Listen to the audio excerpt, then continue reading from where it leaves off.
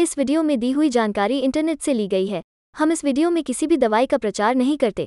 किसी भी दवाई को इस्तेमाल करने से पहले एक बार डॉक्टर से ज़रूर सलाह लें। अगर आप इस वीडियो को देखकर किसी दवा का उपयोग करते हैं और आपको कोई साइड इफ़ेक्ट होता है तो उसमें हमारी कोई ज़िम्मेदारी नहीं होगी। डेजटेम टैबलेट एक कॉम्बिनेशन दवा है, जिसका इस्तेमाल एलर्जी के लक्षणों जैसे नाक बहना बंद नाक, छींक आना, आँखों से पानी आना और सांस लेने में परेशानी या होना आदि के इलाज में किया जाता है। डेजटेम टैबलेट को डॉक्टर द्वारा सलाह दी गई खुराक और अवधि के अनुसार भोजन के साथ या बिना भोजन के लिया जाता है। डोज आपकी कंडीशन और दवा के प्रति आपके रिस्पॉन्स पर निर्भर करेगी। डॉक्टर द्वारा निर्धारित अवधि तक इस दवा का सेवन जारी रखें।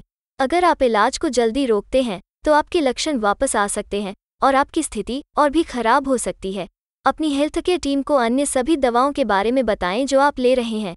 क्योंकि वो दवाएँ इस दवा को प्रभावित या इससे प्रभावित हो सकती हैं। सबसे सामान्य साइड इफ़ेक्ट में चली आना डायरिया, दस्त, मुँह में सूखापन, उल्टी, त्वचा पर रैश, फ्लू जैसे लक्षण, थकान और सिर दर्द हैं।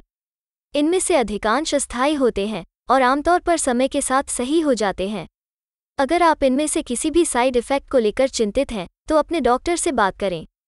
इस दवा से आपको चक्कर या नींद आ सकती है इसलिए, जब तक आप यह न जान ले कि यह दवा आपको कैसे प्रभावित करती है, तब तक ड्राइव या ऐसा कोई काम न करें जिसमें मानसिक फोकस की आवश्यकता होती है। यह दवा लेने के दौरान शराब पीने से बचें क्योंकि इससे आपको अधिक नींद आ सकती है।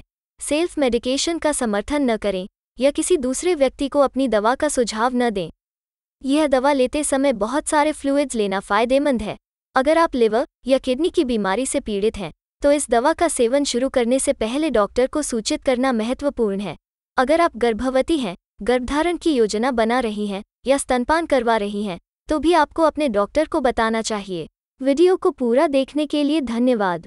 अगर आपको वीडियो अच्छी लगी हो तो वीडियो को लाइक करें और साथ ही हमारे चैनल को सब्सक्राइब करके नोटिफिकेशन बेल आइकॉन पर क्लिक करें और ऑल नोटिफिकेशन को क्लिक करें। धन्यवाद।